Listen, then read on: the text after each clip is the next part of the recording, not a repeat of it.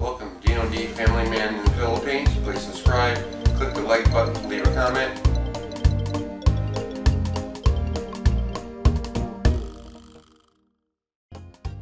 Potatoes are finished. I have them in a bowl. Now I have a couple of hard-boiled eggs, or eggs gonna hopefully become hard-boiled eggs. Have some onion over here. I don't have any pickle relish. Apparently they don't seem to have that in the Philippines. And then we have our magic whip. And I have a container of real mayonnaise over here. I'm gonna mix between the two of them so it's not too sweet.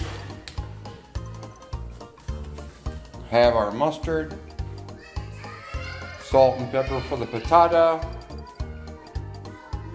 and I have some bacon right there. that I'll be cooking a little bit later to mix in there.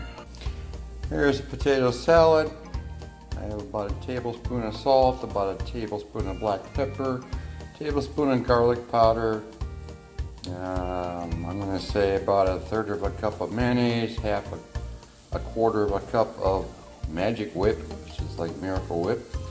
Uh, a couple of hard-boiled eggs. I'm letting them cool so I can peel. And right now I am frying some bacon to put in there. Also about a tablespoon and a half, about a table, about a tablespoon and a half of yellow mustard.